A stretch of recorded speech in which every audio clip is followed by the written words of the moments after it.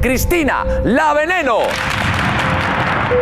Que soy transexual, soy transexual. Prostituta, también. Un personaje más que ha acabado en tragedia. todo mi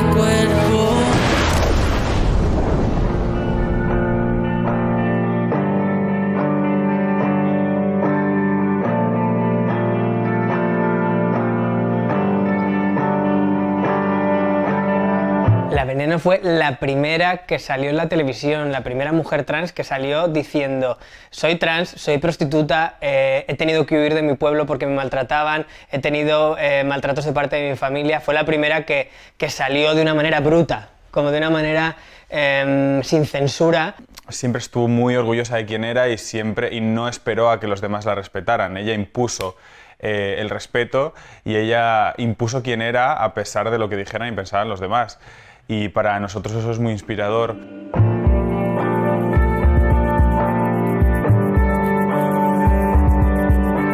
Ya de pequeño mi madre me daba unas palizas enorme, enorme, enorme, enorme, enorme. Desde ya con cuatro o cinco añillos, los brazos lastimados, las, las patas de la silla solamente, yo no sé por qué. Yo, porque a lo mejor un día no iba al colegio, no era manera de pegar de esa manera, porque yo vi a otras madres, a su hijo, cómo los trataban, y decía, yo quisiera ser así, de esa manera. Enseguida empezó a percibir eh, que era distinta. ¿Por qué? Porque la insultaban, ¿no? Ella contaba, ella contaba con mucho detalle eh, cada vez que le decían maricón, cada vez que le decían maricón en, en cualquier esquina, en cualquier momento, fuese donde fuese. ¿no?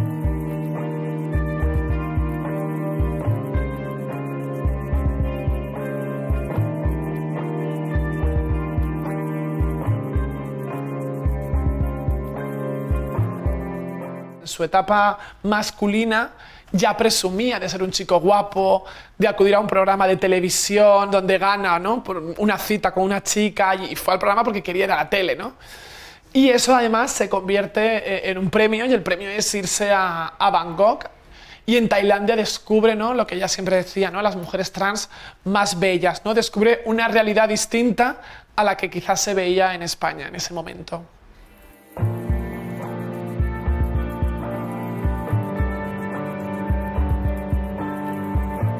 En cuanto pudo iniciar su transición, supo que su destino había cambiado, que no volvería a su pueblo y que perdería a algunos familiares.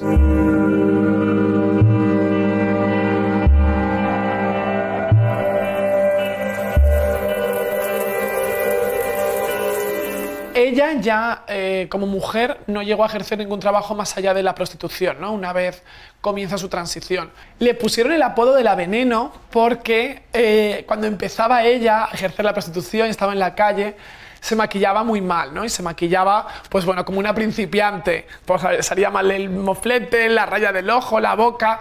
Y le decían, ¡ay, qué fea eres! Pareces un veneno, un bicho que tiene veneno.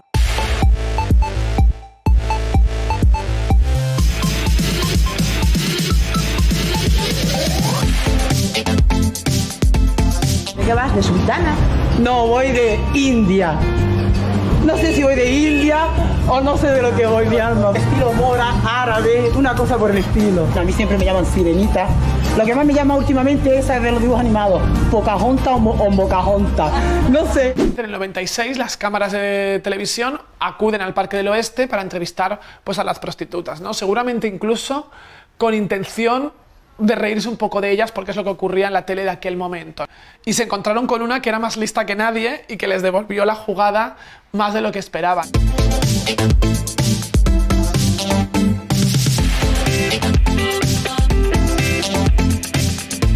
Ella tenía miedo porque su familia no la había visto todavía eh, realizada como mujer.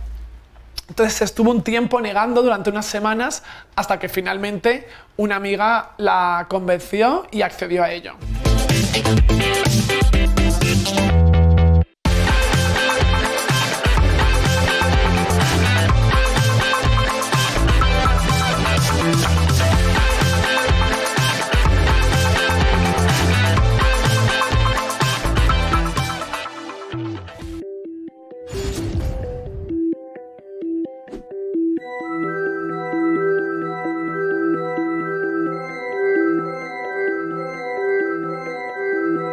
Después de pegarme, me violaron. Eran cuatro funcionarios y un jefe de servicio.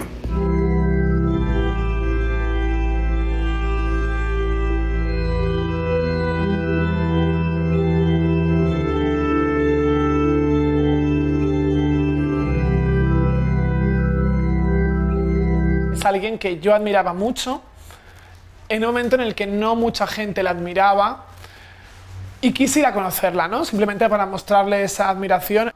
Ella me dijo una frase que, que a mí me, me, me chocó mucho y es que ella si volviese atrás no querría ser famosa, ¿no? Le gustaba la parte positiva de la popularidad, pero sentía que esa fama le había alejado de, de la realidad.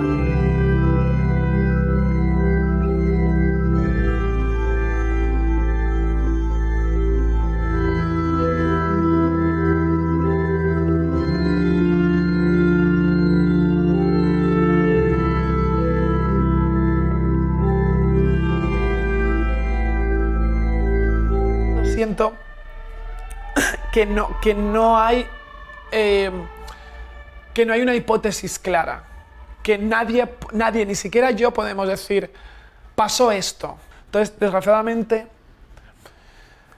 cuando ella muere, su madre, a los pocos días, al cabo de un mes, manda a incinerar su cuerpo. Entonces, si tú incineras un cuerpo, tú con las cenizas ya no puedes seguir haciendo autopsias, no puedes seguir investigando, ¿no? Entonces tengo la sensación de que nunca se va a poder esclarecer esa muerte.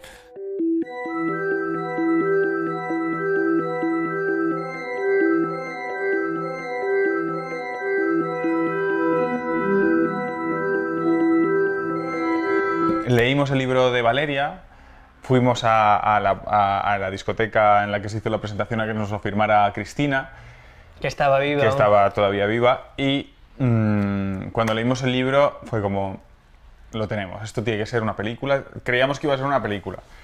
Y mm, sobre todo leyendo la infancia, Sí, nosotros dijimos, esta serie solo se hace si el cast eh, está formado por eh, personas trans y en los equipos técnicos por lo menos hay una persona trans en cada departamento, si no, no se puede hacer.